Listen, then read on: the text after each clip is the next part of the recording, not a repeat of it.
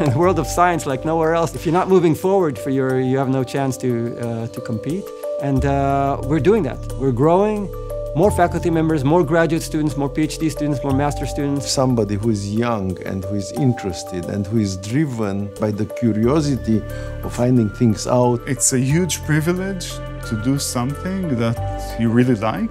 Even if I didn't have to work one second, I would do exactly what I'm doing now. You, you never really stop thinking about this. Just being a researcher, it's, it's part of you. Yeah, it's not just a job. When you travel around in the world, you see many, many universities. There is a lot of things that are common. What changes over the years are the details of what is fashionable and what is not fashionable.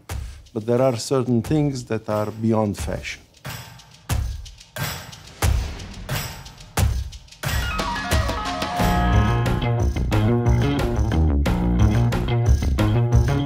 Name is Eitan Yaakobi, and I'm an assistant professor at the computer science department.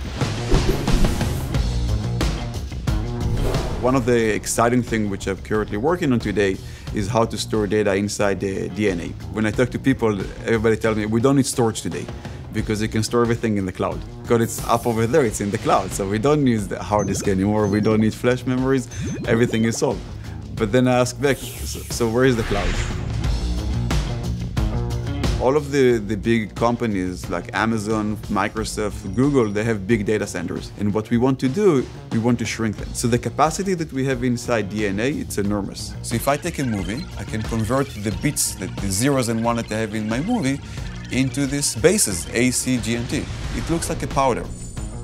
So we eventually we get a really small tube, and this small tube, you, we're going to have our movie, our files, our documents, our, our picture.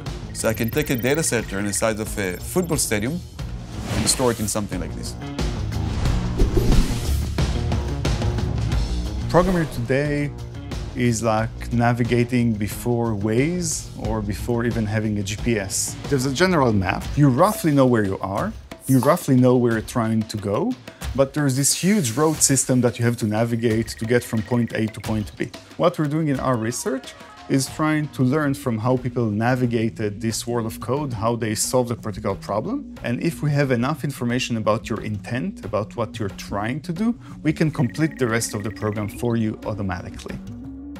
You can think of it like programming together with another person, but a person that has learned everything that there is to learn and has perfect memory. It becomes like a tango with a machine. You give a piece, the machine gives a piece. You give one piece, the machine completes the rest. You just tell me where you want to go, and the machine will take you there.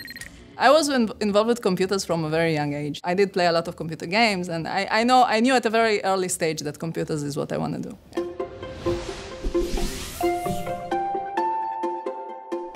My uh, research field deals with uh, spatial computing, anything that involves taking a real world object, representing it uh, as a virtual object and working with it computationally. It's like we're taking the real world and making a virtual copy of it. And at the moment, I think 3D printing is, is kind of still kind of expensive, but when this thing is cheap enough, we will have the algorithms to enable the use of the technology. Basically, the algorithms will be good enough so that your kids can generate animated 3D models on their tablets let's say uh, medical imaging, where I design a hip replacement, which is based on the 3D scan of a person and not just some generic option. I mean, geometry processing has been around for 20 years, but we still haven't really made it into somebody's, into people's homes. And I think, uh, I think it's not that far away and it could be possible.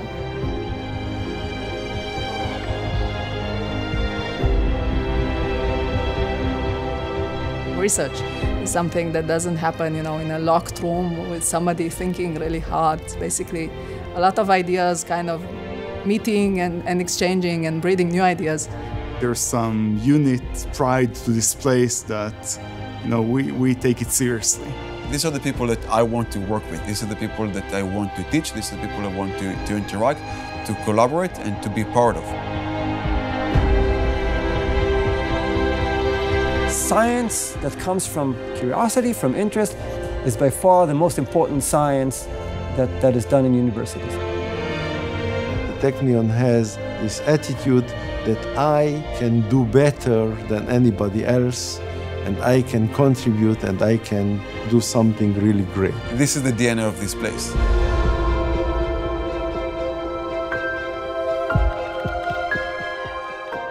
Much of what is done here, much of the research, will become significant in many years to come. So the Technion is up there with the best of the best.